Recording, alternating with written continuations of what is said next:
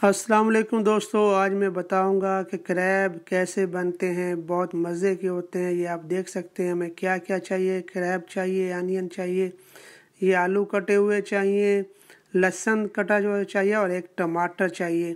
तो ये बहुत मज़े के बनते हैं। क्रैब को थोड़ा सा आपने जो क्रैब के ड्रम स्टिक को थोड़ा सा स्मैश कर लेना अभी हम कढ़ाई में ऑयल डालते हैं और इसमें डालते हैं आनियन फ्राई करने के लिए। तो जी, हम इसमें डालते हैं आनियन और इसको अच्छी तरह जो है हम फ्राई करते हैं। जब तक ये ब्राउन ना हो जाए, इसको फ्राई करें अच्छी तरह। तो मैं जो वीडियो बना रहा हूँ, आपको बता रहा हूँ कैसे कैसे बनेगा। जब ये ब्राउन हो जाएगा तो जो हमारे वो हैं, लहसन कूटा हुआ पड़ा था, वो थोड़े थोड़े चार पाँच डलियाँ लहसन की, वो भी हम इसमें डाल देंगे ताकि जो है, और उसको भी हम अच्छी तरह फ्राई करेंगे ताकि वो भी इसमें अच्छी तरह फ्राई हो जाए। पहले हम जो हमारे प्याज हैं, उनको डालेंगे। अभी ये देखें, हम डालेंगे लहसुन और इसको भी हम फ्राई करेंगे इसमें ताकि अच्छी तरह फ्राई हो जाए।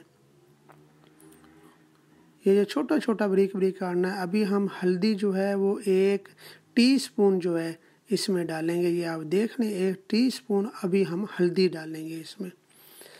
जब हम हल्दी डालेंगे तो इसको अच्छी तरह हम मिक्स कर लें और इसको हम अच्छी तरह हिलाएँ ताकि जो है और इसको फ्राई करें और एक टीस्पून हम नमक डाल देंगे। नमक आप हसबे ज़ायका ज़्यादा भी डाल सकते हैं, जितना आपका दिल हो।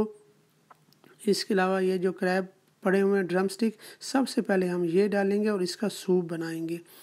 ये हाथों से डालनी है ताकि जो है पानी जो है इनका बीच ना जाए। और इसको अच्छी तरह हिलाना है और साथ थोड़ा पानी भी डाल देना है ताकि फिर इसका जो है सूप बने और बाकी का जो क्रैब है हम उसमें बाद में डालेंगे अभी हम ये जो इसकी ड्रम स्टिक है ये डाल के इसको अच्छी तरह हिलाते हैं और थोड़ा पानी भी डालते हैं ताकि ये अच्छी तरह इसकी जो है ये फ्राई हो, इसमें पके और इसका सूप निकले इसमें, क्योंकि इसके सूप का बहुत मज़ा होता है। आप ज़रूर ट्राई कीजिएगा। क्रैब बहुत मज़े की डिश है। तो अभी हम इसमें पानी डाल देते हैं थोड़ी देर के लिए। इसको छोड़ देते हैं। साथ साथ जो मिसाले डलते जाएँगे मैं आपको दिखाता जाऊँगा। आप देखते जाइएगा। इसको जो है हमने स्लो फायर पर रखा हुआ है। ये बहुत मज़े का खुशबू आ रही है। आप देख सकते हैं। माशाल्लाह। जी, अभी जो दूसरे क्रैब हैं वो भी हम इसमें डाल देते हैं और इनको अच्छी तरह हिलाते हैं। ताकि जो है इसमें ये भी मिक्स हो जाए और इनमें जो मिसालें हैं, उनकी खुशबू जग जाए और इनका अच्छे से सूप निकल जाए और बहुत अच्छा मिसाला बने इसका। जी, आप देखते जाएँ, ये इसको क्रैब की करी बोलते हैं। बहुत मज़े की होती है। मलेशियन लोग बहुत मज़े से खाते हैं। आप भी ज़रूर ट्राई कीजिएगा क्रैब इसके बाद आप देखें, ये जो है, अभी पक रहा है और बहुत अच्छी खुशबू आ रही है। आप देखते जाएँ माशाल्लाह। और ये वाइट राइस के साथ खाए जाते हैं। तो ज़रूर ट्राई कीजिएगा। अभी हम जो है मिर्ची, जो है रेड चिल्ली वो हम डालेंगे।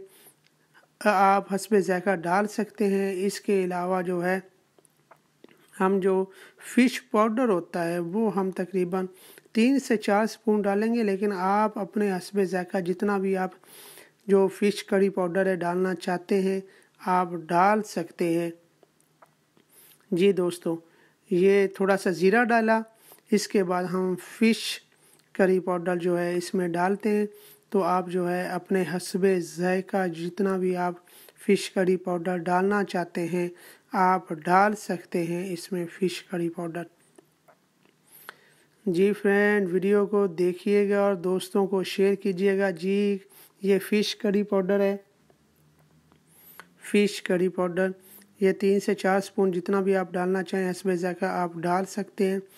तो दोस्तों को फैमिली को रेसिपी ज़रूर शेयर कीजिएगा, ताकि जो है, सब खा सकें और मज़े लें। अगर आप इसमें नमक भी थोड़ा ऐड करना चाहते हैं तो हसब ज़ायका आप नमक भी इसमें और ऐड कर सकते हैं। इसको अच्छी तरह मिक्स कर लें और थोड़ा पानी डाल दें। ये देखें, इसको पहले अच्छी तरह मिक्स किया, फिर इसमें थोड़ा सा हम जो है, पानी भी डालेंगे, ताकि जो है इसको ये नीचे ना लगे और अच्छी तरह इसको हम भून सकें। जी फ्रेंड, देखिए, बहुत मज़े का लग रहा है और बहुत अच्छी खुशबू आ रही है। ये वाइट राइस के साथ मलेशियन लोग खाते हैं। आप भी ट्राई कीजिएगा। ये सी फ़ूड है जी, समंदर का। तो जैसे प्राउन होते हैं, ऐसे ये क्रैब बहुत शौक से खाते हैं मलेशियन लोग। तो इसके बाद जो हमारे पास आलू पड़े हुए हैं, वो और टमाटर भी हम डाल देंगे, इकट्ठे डाल देंगे आलू और टमाटर। तो इनको भी हम जो है मिक्स कर देंगे इसमें। मिक्स करने के बाद, थोड़ा भूनने के बाद फिर हम इसमें जो है पानी डाल देंगे और इसको पकने देंगे ताकि ये अच्छी तरह स्लो फायर पे रखना है।